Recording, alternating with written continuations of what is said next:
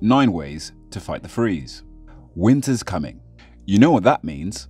Bad weather and cold conditions for your plants. Here's a 9-step health check that will really help you fight the freeze. Number 1. Monitor day and night temperatures. You can do this with a temperature and humidity meter. We love the AirComfort as it sends data straight to your phone. If you have a meter that has a probe, make sure you position the probe in a suitable location in the shade at the base level of your plants. Number 2. Run lights when it's coldest. Grow lights produce a lot of heat. To put this heat to good use, run your lights at night when temperatures drop outside. Number 3. Use a grow room heater. For a small area, a tubular heater is great.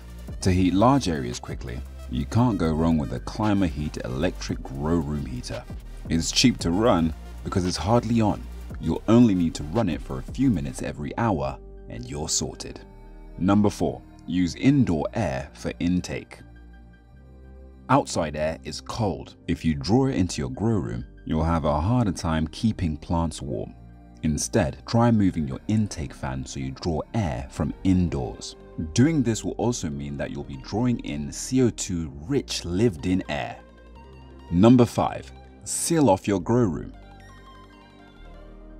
Make your grow room draft proof. Fill in any holes. Seal up any gaps. Check no air is seeping in through door and window frame spaces. This means you'll have a much easier time controlling your grow room's environment. Number 6. Keep pots off the floor. A cold floor can really slow down plants from growing in pots. Make sure there's an insulating barrier between your plants and the floor.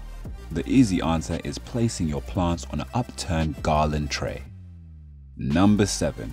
Keep an eye on your nutrient. If your nutrient gets too cold, it can shock plants. Monitor your nutrient solution with a nutrient thermometer. To keep it warm, try a heavy-duty nutrient heater. Number 8. Store nutrients and boosters properly.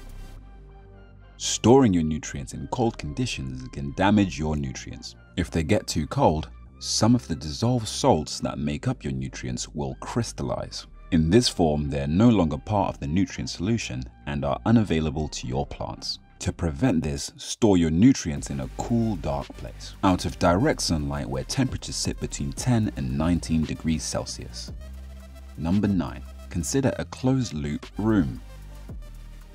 Get the best climate all year round. Create a closed loop setup. Your grow room is almost completely closed off. Hardly any air enters and hardly any air leaves. Instead of exchanging air, you treat air. For example, cooling it or modifying the humidity.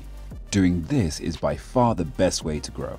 To keep costs low, make sure you use a climate control system that'll cool and heat your grow room. That way, you can use it all year round. We recommend a Hussarya or TopClimate Environment Control System. This video was filmed in GroWell Dudley. If you enjoyed this video, please give it a like. Hit subscribe and the bell to receive notifications on when we release new content.